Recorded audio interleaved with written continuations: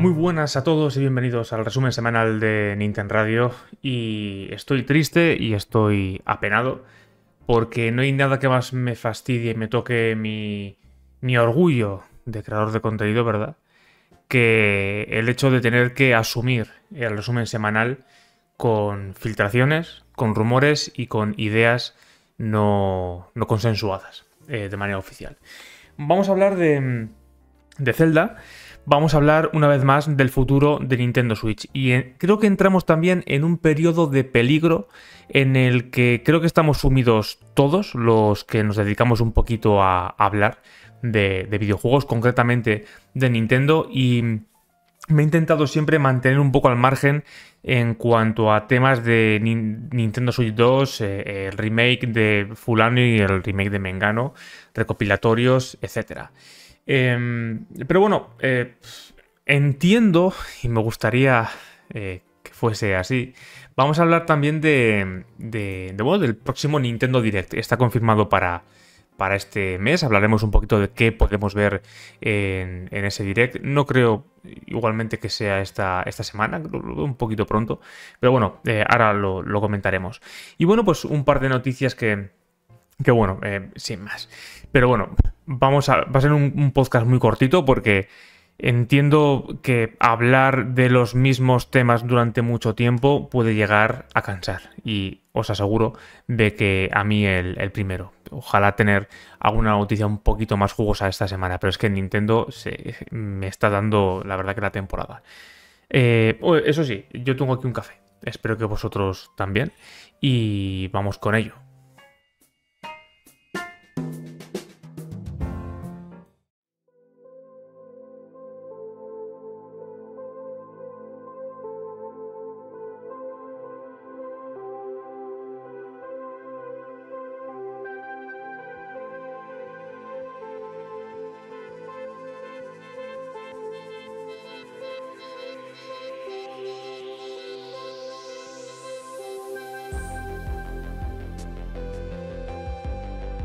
Bien, vamos a pasar un poquito de largo de esta colaboración que ha hecho Nintendo con Lego, una de tantas, que ya se venía rumoreando eh, que Lego iba a sacar algo relacionado con la franquicia de Legend of Zelda. Esto se lleva rumoreando desde, recuerdo, antes de la salida de Tears of the Kingdom y por eso Nintendo había rechazado un, digamos...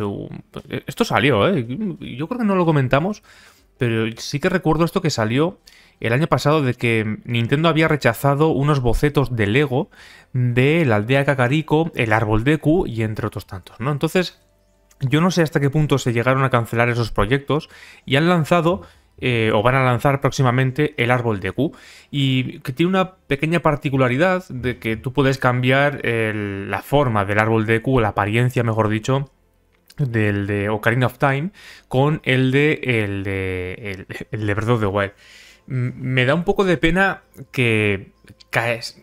No que se hayan dejado olvidado, porque entiendo que hacer tres variaciones de árbol de Q, pues eh, es complicado. Además, el árbol de, de Q de, Wind Waker, pues eh, tiene un aspecto claramente diferenciado del resto de, árboles, ¿no? Em, pero hubiera estado chulo, ¿no? Hubiera estado el, detalle. No me lo hubiera comprado, Igualmente, puesto que es una pieza de Lego que vale 300 euros, cosa que al principio yo pensaba que era broma. Yo le, echaba como alrededor de 100, 150. Digo, bueno, pues depende del tamaño que sea, pero no, 300. Eh, como figura de colección, creo que sale más rentable plantar un árbol en casa y, y llamarlo árbol deco creo que es eh, incluso más ecológico. Pero bueno, pues oye, pues para el que, el que quiera. Tiene ciertos detalles, es verdad que Lego trabaja muy bien esto, que es el de poner pequeñitos detalles, pero es que la verdad que el, precio no, no lo entiendo, no sé tampoco el tamaño, ¿eh? no sé si es a tamaño real, eh, supongo que no. pero bueno, eso, sin más, 300 euros. lo, pongo un poco pues, para rellenar un poco y poner un poco en la miniatura de qué voy a hablar. pero bueno, a mí lo que me gustaría, eh, eh, aquí me he venido a hablar de nuestro libro, es un videojuego de Lego, si quieres, relacionado con la saga Zelda. Ya hemos tenido ese spin-off de, de, Cadence of... Eh, perdón, Cadence of Necromancer, creo que era el... Hicieron una colaboración con, con Zelda. yo tengo el juego, la verdad que no lo he jugado. Tengo ganas de probarlo, pero sin más. Pero la, cuestión es que Nintendo estaba abierta con un estudio indie hacer algo relacionado con la franquicia Zelda. Y hemos visto ese videojuego y ya. De hecho, Switch, a mí me da la sensación de que tenemos poquitos juegos, ¿eh? igual no tantos. Tenemos más de los que, de los que, de los que creo, ¿eh? pero menos de los que se han podido tener porque estoy seguro de que cualquier estudio colaborador eh, quiere trabajar con la franquicia Zelda. Esto ahora con Switch, incluso años atrás, ¿no? Pero Lego a mí sí que me parece eh, un... Bueno, a, la hora de hacer, videojuegos que podrían sacar algo de potencial con la franquicia Zelda, ¿no? Con ese rollo eh, humorístico que tienen, ya han sacado juegos de otras licencias como Star Wars. se rumorea que van a sacar algo relacionado con, con Horizon de, PlayStation. Y bueno, pues no sé, por ideas, pues podemos ir lanzando ideas que no nos van a hacer caso en ninguna de ellas. Pero bueno, sin más, eh, eh, yo quiero hablar del, tema de, Zelda. Em, y bueno, ya digo, no me gusta agarrarme a los rumores. Pero en esta ocasión, una vez más, mm, rumorólogos y filtradores de información eh, ahora mismo hay uno. Esto va un poco como por fases, ¿no? Hay de vez en cuando pues echas más el ojo a Jeff Graff. Eh, por Dios, no hagáis eso. Eh, luego a, se me han olvidado ya los nombres. Pero ahora debe haber uno o una que se llama Midori que mm, dato que da, dato que acierta. Y está bastante activa en redes. Cosa que a mí me, me escama bastante porque eh, me da la sensación de que va a ser el típico filtrador em, que, te, lo dice directamente. No te da pequeñas pistas, ¿no? Como, como el pioro o como que te da como lugar a pensar cosas, ¿no? Eh, para mí lo único que merece la pena ver a los insiders estos, los reales, es para saber más o menos cuándo vamos a tener un Nintendo Direct. El contenido del Nintendo Direct, por favor no me lo cuentes, o, porque al final aunque yo bloquee directamente a esa persona, eh, otros medios hacen eco y al final pues te acabas enterando. Y hay gente que disfruta eh, de, saberlo todo antes de, que ocurra, pero de verdad es lo único ya que nos separa de la pureza del videojuego de antaño. Yo sé que estoy solo en esta batalla, pero me gustaría mantenerme siempre lo más virgen posible a la hora de, ver los eventos. Quiero decir con esto de que... Em, bueno, ha dicho de que hay un juego de Zelda en desarrollo. Bueno, igual que con lo de Mario, ¿eh? de la semana pasada. Al final, pues dices, bueno, pues evidentemente, ¿no? Es, Nintendo y hace juegos de Mario y de Zelda. Em, pero aquí la, cuestión es, sabemos perfectamente que en el momento en el que terminan un juego de Zelda grande, empiezan por, por el siguiente, y estoy seguro de que con Tears of the Kingdom el desarrollo, el desarrollo de ese videojuego eh, ya está en una planificación eh, avanzada, ya creo que saben más o menos qué van a hacer. Ahora se tienen que poner a ello, igual que con Mario, ¿eh? desde hace años. El caso es que em, ha dado ahora una información relacionada con los nombres en clave que tienen Nintendo registrados en, Nintendo para llamar a sus siguientes proyectos y da la sensación de que puede ser algo relacionado con la saga Zelda. Em, estoy a ver si, si, encuentro un poco... Luego también está hablando de cosas de Dragon Quest, muchísimas cosas, ¿no? Pero relacionado con Zelda, eh, digamos que posiblemente veamos un remake de un juego de Zelda. Y esto viene dado porque el nombre en clave de, que han utilizado para, ese videojuego es Edward. Y esto no nos quiere decir absolutamente nada, pero el nombre en clave de Link's Awakening para Nintendo Switch en 2017, uno de los mejores juegos del sistema y uno de los mejores Zelda. A mí la verdad que me gustó bastante, muy diferente. Ya hablaremos de... Ya, ya hemos hablado de él, que no dices. Em, era Richard. Claro, ¿y qué tendrá que ver Proyecto Richard con, eh, con este videojuego? Bueno, pues ya me habéis escuchado hablar de esto, pero lo voy a volver a decir. Eh, Kaeru no Tame ni Kanewa Naru. Un videojuego desarrollado en el año 92 para Game Boy por Intelligent System, producido por la grande Gunpei Yokoi, eh, Makoto Kano y a la composición Kazumi Tataka, eh, Totaka, perdón, el videojuego este de Por las ranas doblan las campanas, que el otro día también estuvimos hablando de esto porque lo han añadido en el Nintendo Switch Online y aquí en Occidente no está. eh, uno de los protagonistas del, del juego se llama Príncipe Richard. Y es el videojuego por el que después bebería un poco la influencia, un poco bastante de hecho, a eh, Link's Awakening. Entonces, dando un poco la vuelta a todo esto, si al proyecto Richard eh, terminó siendo eh, Link's Awakening, el proyecto Edward, que es como otro nombre como de la realeza, puede ser cualquier cosa, pero mi apuesta, y por lo que apuntan un poco... Es que tampoco he escuchado muchos rumores de esto durante mucho tiempo, pero yo creo que va tocando hacer un remake de la saga Oracle. Son dos juegos, ya está claro. Eh, con la saga Oracle, eh, a ver, son dos videojuegos. No creo que Nintendo haga la de Pokémon, de sacarte los dos juegos diferentes. Eh, pero es que la saga Oracle es Dios. O sea, es, es, increíble, tanto el uno como el otro, ¿no? A mí me gustó, yo creo que me gustó más el Seasons. Creo que es un poquito más sencillo, además. Eh, me gustó mucho el tema de cambiar las estaciones de, lugar y tal. Eh, rumores, muchísimos. Remakes de videojuegos, remakes como tal, yo llamo remake a lo que fue Link's Awakening. Llamo remaster a cualquier otro tipo de port que se pueda hacer a Nintendo Switch. Es decir, Ocarina of Time 3D, Majora's Mask 3D, lanzados en Nintendo Switch actualmente, no tienen demasiado sentido. Por varias razones, pero sobre todo una, ya están en el Switch Online. No es el mismo juego, tiene mucho más tratamiento, tiene tal. El motivo principal por el que se crearon esos remakes fue para sacar las potencialidades del 3D.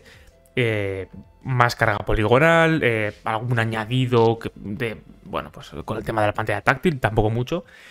Pero yo creo que con Zelda, eh, con Ocarina of Time concretamente, lo siguiente que vamos a ver es un, remake Mm, digamos, hecho desde cero, prácticamente, ¿no? Y, yo creo que tampoco le hace tanta falta a Ocarina of Time, ¿no? Eh, lo compro día uno y, eso yo creo que lo haríamos todos, ¿no? Incluso de Mayora. Con Wind Waker y Twilight Princess, supongo que el nombre de los proyectos se dan a proyectos nuevos. Eh, estamos trabajando en este proyecto. No creo que el proyecto Edward tenga que ver con los ports de juegos de Wii U a Nintendo Switch. Eh, y bueno, pues no sé, a lo mejor un, un remaster de eh, A Link Between Worlds. Es que al final, claro, los juegos de Nintendo 3DS ya han quedado en un segundo plano. Y se jugaron, supongo que bastante. Es un juegazo también eh, A Link Between Worlds. Un remake de A Link to the Past. Bueno, eh, también podría ser. ¿Por qué no? Yo apostaría más por la saga Oracle y que seguramente sea algo que esté trabajando en ello la misma gente que hizo eh, el remake de Link's Awakening. Em, pero bueno, eh, al final es un poco hablar por hablar.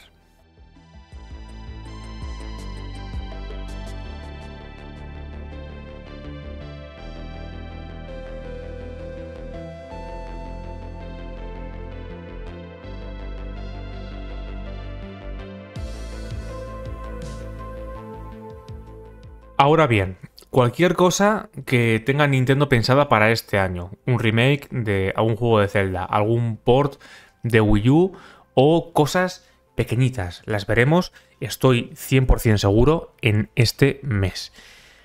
Eh, mi idea para hacer este el podcast de esta semana, al ver que no tenía muchas noticias por las que, por las que hablar, era la idea de eh, hacer un pequeño resumen de todo lo que Nintendo nos ha dado este año 2024, porque estamos ya a mitad de año. Eh, son poquitas cosas y, muy dosificadas, ¿no? Y, hemos tenido que si Mario vs. Donkey Kong, Princess Peach, etc., ¿no? Eh, todavía hay muchas third parties que tienen que llegar a Nintendo Switch, entre las cuales está sobre todo la franquicia Dragon Quest, hay varios proyectos que estoy seguro de que van a llegar a Nintendo Switch, entre otras, ¿no? Eh, pero lo que sí que me gustaría analizar un poco con vosotros es que todo este trayecto hasta mitad del 2024, con el run run de si este año íbamos a ver la Nintendo Switch 2, eh, y parece ser que no, que va a ser ya para el año que, viene, pero Nintendo no va a abandonar Nintendo Switch este año. Es algo que ha aprendido a hacer con, el tiempo, ¿no? No va a abandonar un sistema además tan exitoso como, como es este. Eh, Y, es complicado analizar esto también un poco porque al final Nintendo es capaz de sacarnos cualquier cosa en cualquier tiempo. Y es tan sencillo como eso. Eh, estamos a junio.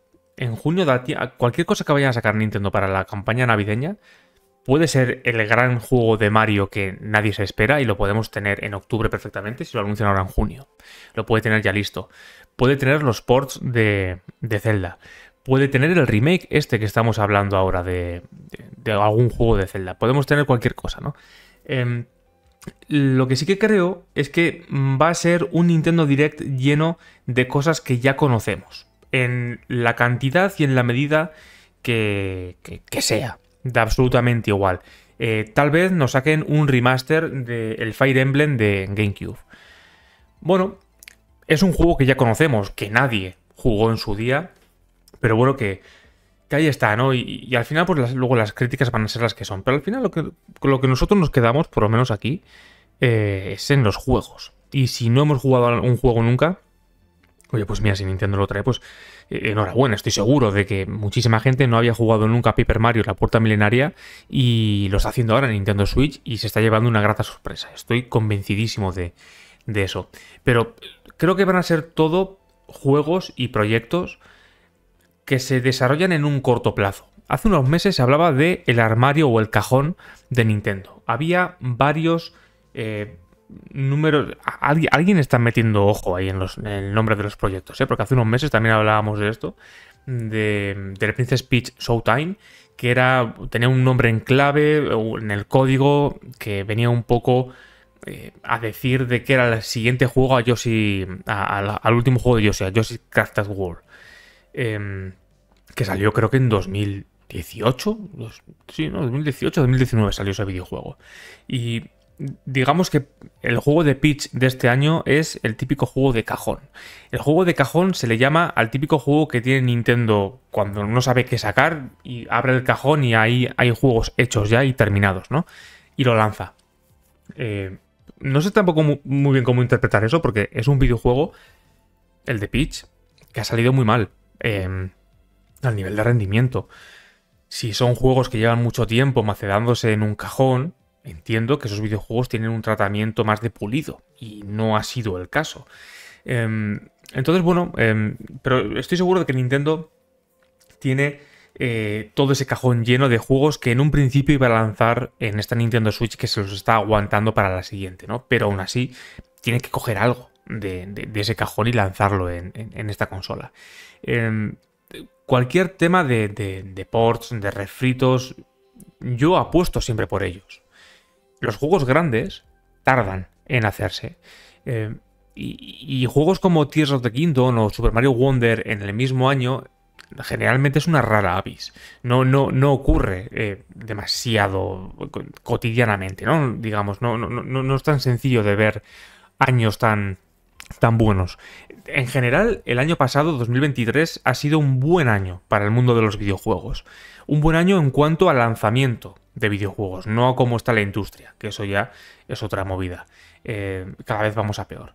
Pero en cuanto a videojuegos el año pasado, pues fue francamente bien. Sin embargo, en esta primera mitad de año no hemos tenido grandes lanzamientos más allá de... Bueno, ahora alguno me dirá, no, pues sí que salió, porque a ti no te guste, no, no quiere decir que no. Pero bueno, eh, nadie se acuerda que ha salido un nuevo juego de Yakuza este año, por ejemplo. O el Final Fantasy VII Rebirth, un juego que se ha pegado la leche tremenda, ¿no? Em, y, en cuanto a Nintendo, pues una vez más, no tenemos mucho más de lo que, de lo que comentar de lo, de lo que haya sacado este año. Y a partir de aquí, pues ya veremos. Faltan em, temas de interés como Pokémon. Pokémon para este año de momento no tiene nada, cosa que me extraña mucho. Y yo creo que es, bueno, el año pasado ya se tomaron un poquito el descanso, pero este año no hay absolutamente nada. Hoy, por ejemplo, ha salido una filtración de nuevas mega evoluciones. Yo entiendo que ese videojuego está más, más cerca de lo, que, de lo que pensamos. Lo ponen para navidades del año que viene.